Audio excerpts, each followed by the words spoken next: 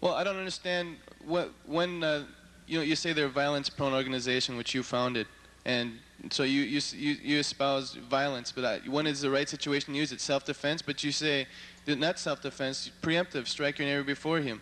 You know, so I. I You don't strike at someone who is not dangerous.